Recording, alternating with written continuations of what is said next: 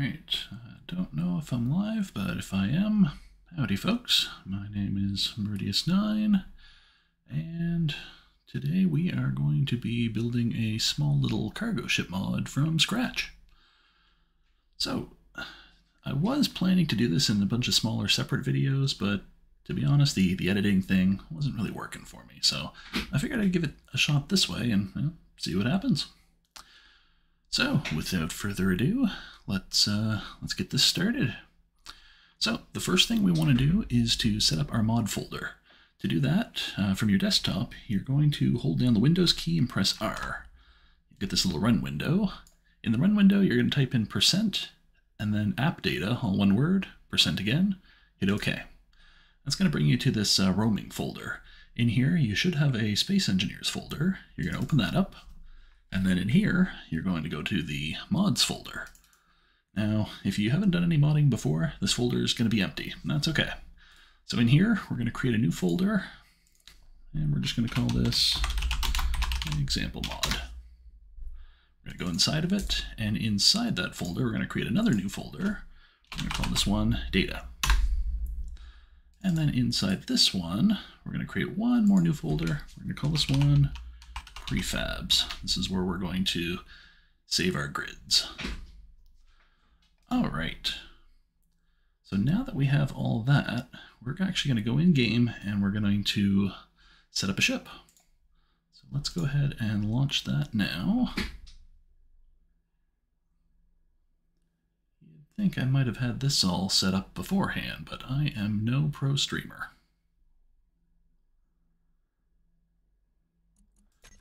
Okay, so we're just going to quickly create a new empty world just to mess about with here. Here we go. And we're going to grab a blueprint. So here's one that I had prepared. Ship A, as you can see my naming conventions are the best. So a couple of things we're going to check on this ship before we export it for use in an NPC mod. We are going to open up this and check to see if this ship has a remote control. That is going to be an important part of this. Which it does appear to have it, so that's all good. And the next thing we're going to do is just make sure that things like doors and all that are not open, otherwise people can just kind of waltz in. So this one was already closed, and it's not much of an interior in here, so not really worried about the rest. Okay. Now, depending on how you're setting up your mod, um, you may want to go through and add things to inventory like uh, ammo to turrets and ice to O2 generators, things like that. Um, if you're using MES though, um, there are options to do a lot of that automatically, so for the sake of keeping things short, we're not going to do any of that in this video. We're just going to take the ship as we have it and do our export. So, to export the ship, what you're going to do is you're going to point your crosshair at it, and then do Control-C to copy it. Uh, from there, you can just hit Escape. Then you're going to hit F11 on your keyboard, and you're going to go to this option here, Export Clipboard to File. So since we've done that, that has now exported it. Where did it go? Well, I'm going to show you. So we're going to go back to our mods folder that we were just in, and we're going to go back a few layers, back to here. So just the Roaming Space Engineers section. There's a folder in here called Export. We go in here, we're going to find the ship that we just exported. So we're actually going to grab that, and we are going to cut it. And we are going to go back into our mod folder, into prefabs, we're going to drop it in here. Now, it's important that you don't rename this file. Um, reason being, there's there's some association with it that we're going to be using with another file, and if you break that, then it just causes all sorts of trouble. If you really do want to rename it, the safest way to rename it is to go back in game, go into the uh, terminal here, and then rename it from here. So give it like an actual name, for example. All right. So, now that we've got our ship exported, we are now going to open up our web browser. Get one up on screen. Actually, no, let's not do it from the web browser. Actually open it up from the Steam client. We're going to go to the workshop. We are going to look for MES in here. Here we go. And at the bottom, there is this section here, resources. And we're going to click on this first option here for looking for config admin options and all that.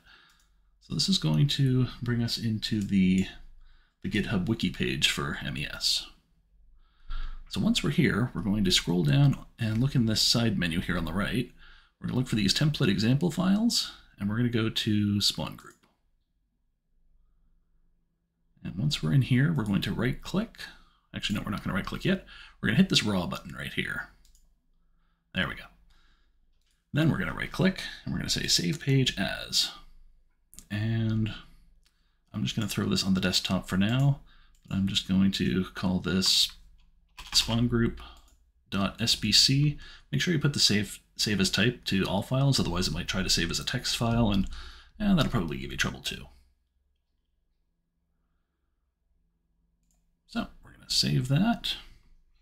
And we're going to go back to our desktop. Here's our spawn group file. We're going to cut that. And then we're going to go back in here, just into the data folder, and we're going to drop that spawn group right here. So the next thing we're going to do is we are going to open this using Notepad++. Now, I'll, I'm not going to get into the installation of that right now, but um, in the video description, once this is all done, I'll put a link to uh, an installer for you. Okay, one moment. Okay, so this is what we've got here for our spawn group. So what this file does is it controls basically how this encounter is going to spawn in the world, and also what ships are included in the encounter. So what we want to do is we want to give this a unique name. So we're going to give this something like example mod spawn group test ship. There we go. All right, and you don't have to use this exact formatting. You can use pretty much anything you want in this subtype ID field, just as long as it's unique to you, to your mod and your encounters. You don't want to reuse the same one for multiple encounters, otherwise you'll get some that load, some that don't, and makes a mess. All right, so for this ship, we're just going to keep it pretty simple, and we're going to do a space cargo ship. I don't know if that ship is atmospheric capable or not. You know, we can just double check real quick. Hmm, you know what? It's got enough. It's got enough hydrogen thrust. I think we can make it a, an atmospheric one too. So let's let's do that. So we're to make space cargo ship true and atmospheric cargo ship true. Okay. And the faction owner, we're just going to stick with the good old space pirate. So SPRT for the faction tag. Replenish systems. What this is going to do is it's going to go through and automatically fill things like ammo and ice and fuel and things like that so that you don't have to. Basically what I was talking about earlier when we were talking about the uh, inventory systems. So let's see here. Now here we have the uh, prefab subtype ID. So this, we actually want to use the name of that file that we found earlier. So let's go back into prefabs. We're going to take this here. We're going to take everything but the .sbc, copy that, and we're going to bring it in here. There we go, and we're going to save that. Okay. So with that, we are pretty much done everything we need to do to make this simple encounter work. So we are going to go back to our main menu and we can save. We're going to load game. We're going to go to edit settings. We're going to go to mods. And we're going to take our example mod and put it in here. Hit OK, OK. And we're going to open that world back up. Here we go. Now we're going to type in slash mes dot gesap caps. I have forgotten one small important little thing. It would help if we had MES loaded in this world.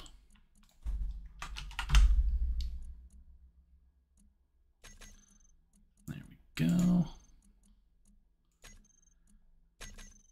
All right, round two.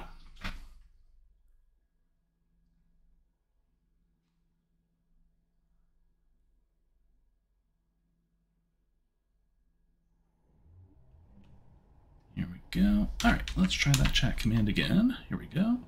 So our eligible spawns have been sent to the clipboard. We're going to come back and go back into Notepad++. We'll open up a new file. We're going to go through here and see if ours appears in the Space and Lunar Cargo eligible list. And look at that, it does. Let's go ahead and click that. And then in-game, we're going to do enter slash mes dot SSCS. So this is short for Spawn Space Cargo Ship. Then we're going to put a dot and put our spawn group name at the end of it. And then hit enter. Okay. Now, I don't actually see it, but the reason for that is probably because we forgot to turn on an antenna on this ship. So, yeah, one more thing to add to your, your grid checklist Make sure you get an antenna turned on, otherwise you'll spawn things but won't be able to see them. So let's do some admin cheating here and see if we can find it. So there's our actual name one, but here is the one that we just spawned. It is just cruising along, and if we get close to it, it's not going to be happy with us. There we go. And so that's got it. That is how you set up a really simple space cargo ship mod. Um, to add additional encounters, all you really have to do is come back into your spawn group file. You take everything from this copy line here down to this one, copy it below, and then you just give it a, a new name and then a new prefab, and then adjust whatever other settings that you need to adjust for the encounter. All right.